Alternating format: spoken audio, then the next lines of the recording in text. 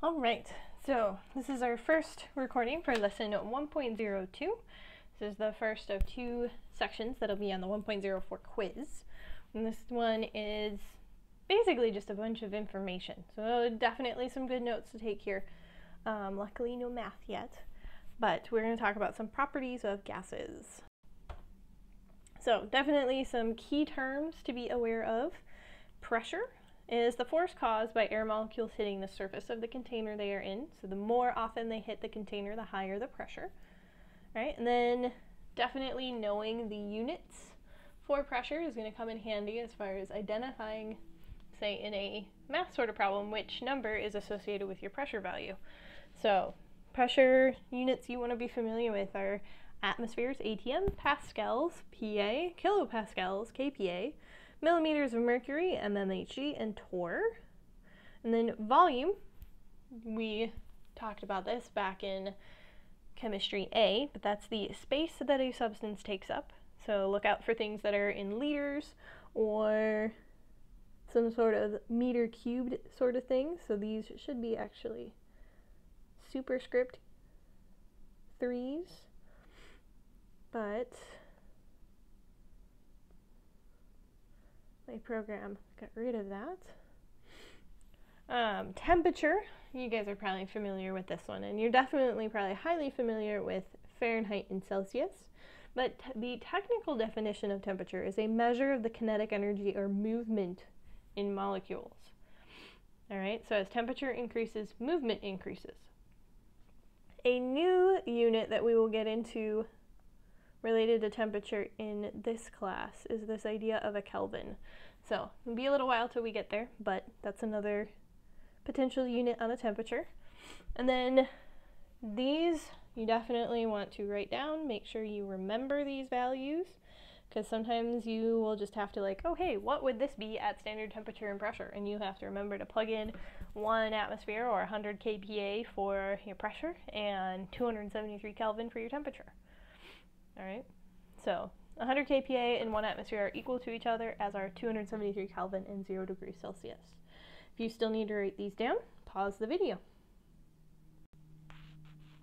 So some other properties or some key properties of gases that you want to focus on is gases are compressible. All right, so that means that you can take a gas that is in a certain space, right, has a certain volume, and you can smush it into a smaller volume. All right, so this little piston diagram down at the bottom is um, what represents this idea of compressibility. All right, but when you do this, when you push it in that smaller volume, your pressure is going to go up. All right, because your the molecules are going to hit the walls more often. That should kind of make intuitive sense. Another key property is that all gas molecules are in constant motion. Really, all molecules are in constant motion, but gas molecules are in like heavy motion. They move around a lot. All right? And this motion relates directly to their kinetic energy. All right? So kinetic energy by definition is the energy related to the motion of a molecule. All right? And kinetic energy is proportional to temperature right? Which means that if the temperature goes up, kinetic energy goes up. All right, so if they're proportional to each other, if one changes in a certain direction, the other one changes in that same direction. All right. Likewise, if temperature goes down, kinetic energy will go down.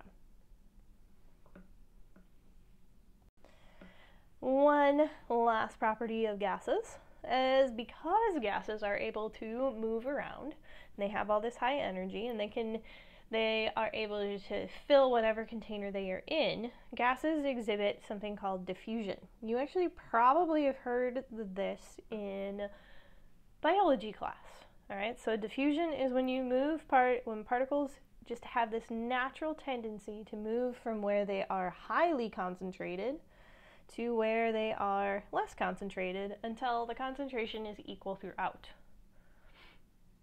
All right. So definitely some key properties of gases to be familiar with. Kind of know your relationships here. All right, so temperature increases, kinetic energy increases, motion increases. Um, compressibility, if you compress a gas into a smaller volume, that's going to increase your pressure. All right, and just know that if a gas has a high concentration, it's going to spread itself out until it's equal concentration everywhere. So, a couple of questions that you can use to kind of practice this. Read through these. Right, these are actually the choices for this question. All right, but pause the video, see if you can come to the right answers, and then start it back up and see if you were right. So, of these choices, what will cause particles to slow down? All right, so we want to figure out things that will decrease the motion. All right. So, key thing here is to remember that motion is related to kinetic energy, which is also related to temperature.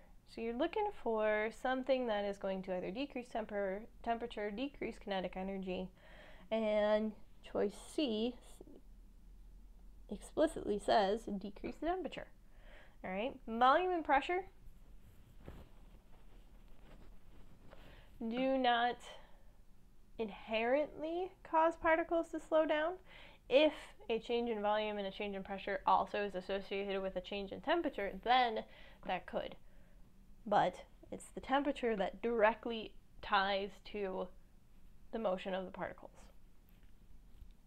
And then detectors in the four walls, or sorry, detectors in the walls of four containers, A, B, C, and D, count the number of collisions between gas molecules and surfaces of the containers.